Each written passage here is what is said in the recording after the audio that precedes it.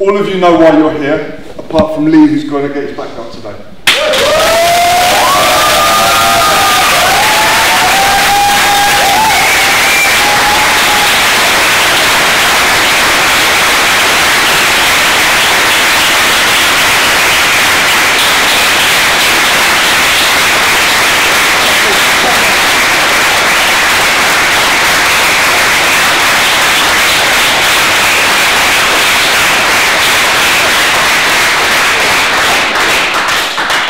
So guys, before I tie the belt around Lee's waist, I'd just like to talk a little bit. This is, look, anyone who gets a black belt, this is a really, really big moment, not just in his life, okay, but also in the guy that's giving the black belt. So it's a big moment in my life too, okay? It's, uh, it really is. It's an important moment that needs to be remembered properly.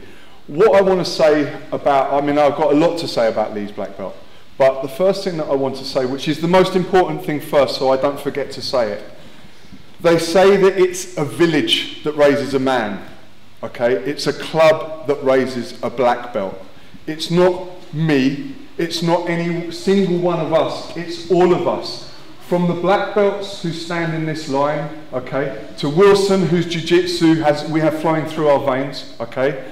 Um, we've all passed our stuff on to Lee through teaching him and through sparring with him. But then you guys, even the new white belts, when he spars with you, he's trying the stuff that we've shown him, through to the blue belts who are starting to make it more difficult for him, the purple belts who are giving him a nightmare and he's making it, you know, we all raise the black belt together, okay? Every single person in the club has, a, has their own part in that, okay? So when someone gets a, a black belt at Carlson Gracie team, although it's Simon Hayes giving him the black belt, okay, the black belt is a Carlson Gracie team black belt. So I'd just like to reflect on that for a minute and, and just...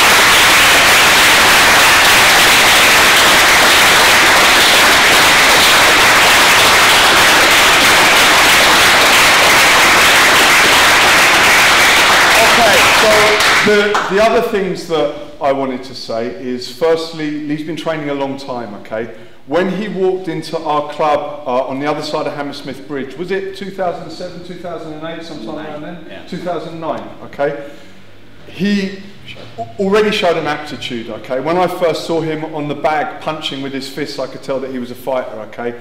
Um, and what I would say, what's important to me, the first thing, the most important thing to me when I pass this belt onto him is the fact that as soon as I tie this around his waist, unlike all of the other colour belts, okay, me and Lee are intrinsically linked forever. Okay, it doesn't matter if Lee goes off and trains with another team, represents someone else. That doesn't matter. Okay, he will always be a Simon Hayes black belt. Okay, whenever he walks into a room, whatever country in the world it's in, um, they're going to go, oh, that's Lee Renaut, he's a black belt. Someone's going to say, where did he get his black belt from? They're going to say Simon Hayes. So his name is intrinsically linked to mine. Now that's very, very important because for me it means that I have to be sure not only is his level of jiu-jitsu um, black belt level, but also his integrity as a human being and as a man is black belt level. He, I know this guy's never going to let me down. I know that he's always going to make the right calls in his life. I know that he's always going to live a humble and respectful life. I know that he's always going to be a good representative of my name. That's really, really important, guys, and that's something to think about, okay, as you go through this journey. It's not just about fighting, okay? It's about developing ourselves into the best version of ourselves that we can be.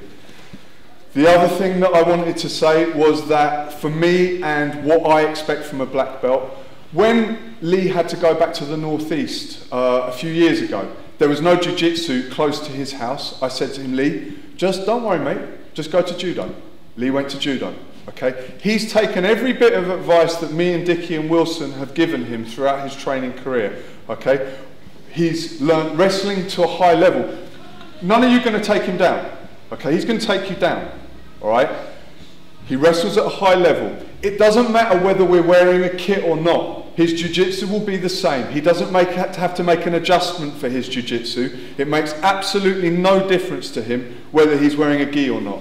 That's very important to me as well okay? Because this is all of the components of jiu-jitsu. It's not just about this on the floor. It's about how you are with your stand-up. He, he's a stalwart of the MMA class, okay? He, uh, he enjoys that side of it. I have no doubt that whatever situation arose, he would be able to deal with it as a Carlson Gracie Brazilian Jiu-Jitsu black belt. Um, and so now's the time where I want to tie it around your waist, sir.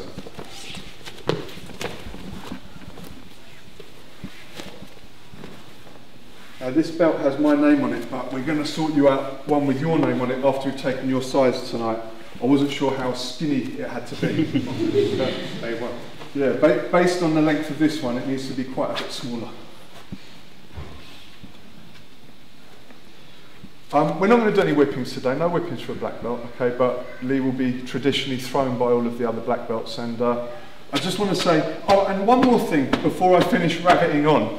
The other thing that's important to think about is that Lee gave up his, his life to follow the, the jiu-jitsu lifestyle. He became a full-time jiu-jitsu fighter, teacher, works in the gym, okay? Uh, he's 100% committed to this lifestyle. That's the right colour of belt for him.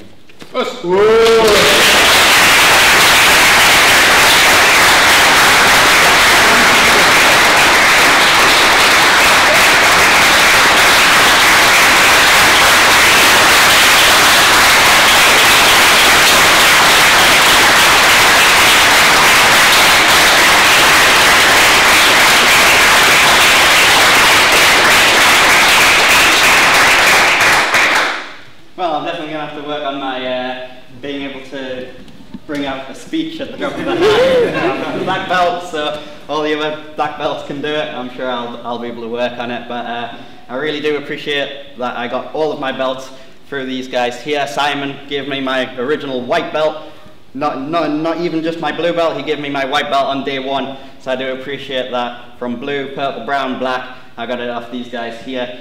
Obviously, Carlson Gracie is my home away from home. Uh, I am moving back home in, in September, but obviously Carlson Gracie London's always going to have a place in my heart. So I thank all the coaches here and obviously all the students as well. Thank you very much, guys.